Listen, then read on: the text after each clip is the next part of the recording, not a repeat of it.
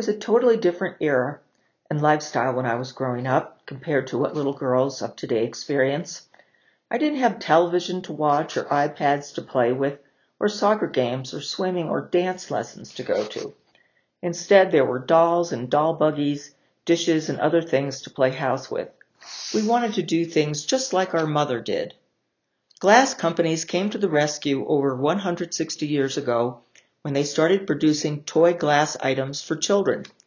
They made toy items just like mother used to use every day in the kitchen, and even fancy dishes used only for company or to sit around and look pretty. Many of the items were made in the same patterns as mother's dishes. We had a lot of fun imitating our mothers, and it was even more fun if we had sisters, cousins, or friends to play with. Toy glass items were made with the intention of children playing with them, and were often broken and then discarded. For this reason, not a lot of time or workmanship went into the items. These small items were usually made at the end of a batch of glass to use it up, rather than not having enough to make a larger item, thus wasting the glass. Edges and seams were usually rough, and it didn't matter if items had bubbles in the glass. The Sandwich Glass Company of Massachusetts was the first to make toy glass as early as the 1830s or 40s. It was about the time Sandwich closed in 1888 that other American companies began in earnest to make toy glass items for little girls. The first toy items made by Sandwich were in the lacy pattern. Do you know why they made lacy glass? Well, they used the stipples to hide the many imperfections in the glass. Later, they made a panel style. If you were to read the names of all the glass factories from the mid 1850s until the 1940s, it would appear there were a great number of them, but in reality there were just over 30 that made toy glass. The reason it seemed like a lot more was the fact that glass factories changed their name and ownership about as often as some people change their underwear. Take, for example, the Bryce brothers. Over the years, there were nine Bryce relatives involved in the glass industry, several of whom started companies. Plus, at different times in their history, they may have received financial backing from people who wanted their name included in the company name. It started as Bryce McKee and Company in 1850 in Birmingham, Pennsylvania, then Bryce, Walker and Company, and later Bryce Brothers until 1891 when it came under the U.S. Glass Company and was known as Factory B. Shortly thereafter, a second generation of Bryces, Andrew and James, resumed operations in a plant in Hammondsville, Pennsylvania, making only blown glass. In 1896, they opened a new plant in Mount Pleasant, Pennsylvania, that remained in operation until it was sold in 1965 to Lenox Crystal. Back in 1879, John P. and Charles Bryce joined with J.B. Higbee to form Bryce, Higbee and Company that operated until 1907 when destroyed by a flood. John Higbee then started J.B. Higbee Company in Bridgeville, Pennsylvania, and stayed in business until 1918. The companies I've just mentioned made a large percentage of all of the children's toy glassware. So listen for them as I show you examples.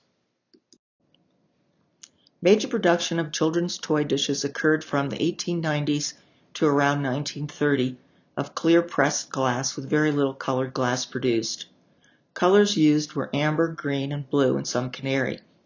Chocolate glass was very rare, with only two companies using it in toy table sets. Most toy dishes were produced and sold in sets table sets, water sets, punch sets, and berry sets. As I said earlier, Sandwich Glass Company was the first to make children's toy items. They made footed goblets, compotes, bowl and pitcher sets, covered dishes, tureens, creamers, and various other bowls and plates, ranging in size from one and a half to two and one eighth inches in their lacy pattern. The stipples in this pattern were designed to cover up minor flaws in their early glass. When the lacy glass went out of style, they produced some panel pieces from 1872 until the factory closed in 1888. These included goblets, tumblers, spooners, bowl and pitcher sets, and cups and saucers. Table sets were the most widely produced children's glass items and came in the most patterns, about 60. A table set included a covered butter dish, creamer, covered sugar, and spooner. As the name implies, this set was kept on the table most of the time, so it would be handy as almost everyone put cream and sugar in their coffee or tea. This is the Amazon or sawtooth mitered glass. It has a jagged rim on all pieces except the spooner. It was made by Bryce Brothers as early as 1854 and after 1891 by U.S. Glass Company. Pennsylvania pattern was made of clear glass with gold rims. It was made by U.S. Glass Company in 1898. Wild Rose is made of heavy white milk glass with a raised design. Some pieces have splashes of various colors. Attributed to the U.S. Glass Company circa 1900, I call this the ugly duckling. Arrowhead in ovals, or style, was made by Bryce Higbee Company in 1907 and later by J.B. Higbee Company, first called Medora, also called Style. Bead and Scroll by U.S. Glass Company was made in the early 1900s. All except the butter have an irregular shaped base. Missing is the covered sugar. Nursery Rhyme, also by U.S. Glass Company, was made from 1908 to 1917. One of the few companies to make all four sets. Nursery Rhyme is part of the Wabash series. Drum is uniquely shaped set with the butter and sugar lids having a cannon finial. It was made by Bryce, Higbee and Company in the 1880s, then J.B. Higbee from 1907 to 1918. The designer left his mark on the bottom of each piece with six stippled lines across the butter and five on the other three pieces. Menagerie is one of the most interesting table sets. The butter is a turtle, the creamer is an owl, the sugar is a bear, and the spooner is a fish. It's also unusual that it came in several colors, clear, old gold, blue, and amber. It was made by Bryce, Higbee and Company in 1885. Hawaiian Lei is by the J. B. Higbee Company, made in clear glass from the 1890s to 1900. Many of the original pieces have a bee with the letters HIG on the wings and body. This is the Higbee bee mark, only used on Hawaiian Lei. These patterns are all from the Bryce Higbee group, and these aren't all of them. The first one we're looking at is Grapevine with Ovals, made by McKee in the 1870s, making it one of the oldest toy sets, and it is also the smallest. What's missing is the spooner. The lion first appeared at the Philadelphia Centennial in 1876, made by Gillinder and Sons. Some sets have frosted lions, and there's an all frosted one. Mardi Gras, or D&M number 42, was made by Duncan and Miller in the 1890s. It was actually a five-piece set having a honey jug with it, which I've never seen. Sawtooth Band number 1225 is the only child's table set made by Heisey circa 1898. Some pieces can be found in ruby flash as souvenir pieces. Lamb was made from 1890 to 1910 I'm not sure which company made it first, but at some point Imperial had the molds for it. Its lamb finial makes it interesting, and it was produced in clear doeskin and white milk glass, with the last two being quite rare.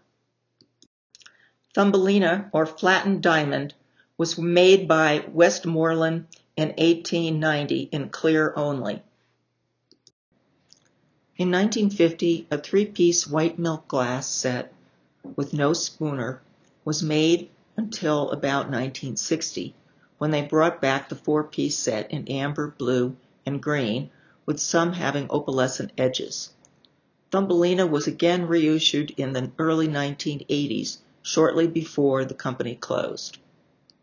Colonial, or number 2630, by Cambridge Glass Company, was one of the few sets that came in colors, cobalt and green, plus clear. Very difficult to complete a green set as the green varied in coloration. This is circa 1900 to 1909. Rex, or Fancy Cut, was made by Cooperative Flint Glass in 1911.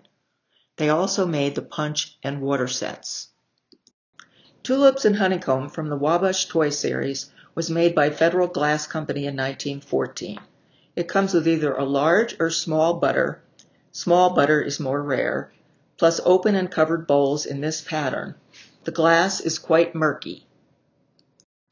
There are about 20 patterns of water sets. This is the padded cross pattern made by U.S. Glass in the 1890s. Frances Ware number 323 was made in 1891 by Hobbs, Brockunier and Company, and they came in blue Vaseline, crystal, and frosted crystal, and the crystal pieces may be trimmed in red or amber. Can also be found in Rubina, frosted, or clear. The Hobbs are the most pronounced of any children's sets.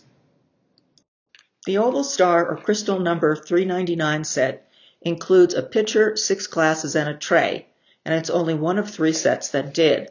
It's a common pattern, but the tray is difficult to find and it's expensive. It's made by the Indiana Glass Factory in 1900 and again in 1920. The water set with tray sold for 65 cents in the 1927 to 1930 Sears Roebuck and, Co and Company catalog. This is the Rex or Fancy Cut by Cooperative Glass Company from 1911. Nursery rhyme picture depicts a seesaw and the tumbler a boy with a hoop and dog. This was by the U.S. Glass Company 1908 to 1919 in clear glass. The Stein set of a heavy white milk glass by U.S. Glass comes from the early 1890s. Some sets have a single color smeared over the raised design in pink, green, red, blue, matte silver, or gold. It's also sold in clear, but that was rare. In 1914, a seven-piece set sold for 92 cents a dozen, wholesale. Next, we're going to look at punch sets. There were about 12 to 15 patterns. This is the Thumbelina or flattened diamond set. It was also called Sunburst, Pineapple and Fan, or Strawberry and Fan. These sets were made in 1890. Westmoreland has reissued this pattern several times in many colors, such as this red carnival set. The last one was in 1982 for their anniversary line with pieces well marked. It has widely been reproduced since Westmoreland closed in 1985. This is the nursery rhyme by U.S. Glass Company. They were made in 1908 to 1919. The Wheatsheaf number 500 by Cambridge Glass Company was made in 1910. The set sold for $2.90 a dozen, wholesale. All four sets of tulips and honeycomb, which were made by Federal Glass Company of Ohio from 1900 to 1914. This is Wild Rose in a heavy milk glass. It was very poorly made with lots of sharp edges. It was made by U.S. Glass Company in 1900. This is Whirligig number 15101 or Buzz Star, made by U.S. Glass in the 1970s.